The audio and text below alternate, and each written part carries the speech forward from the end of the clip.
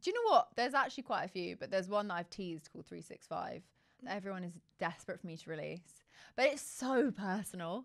Like half of the second verse is literally such specific details on like when we met and stuff and like I'm not normally like that. I don't tend to write super like lovey-dovey songs.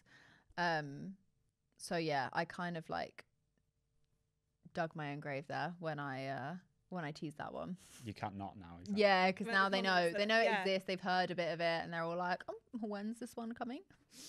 That's Yeah. quite sweet. That's quite sweet though. I like it. yeah, he's not written me a song, so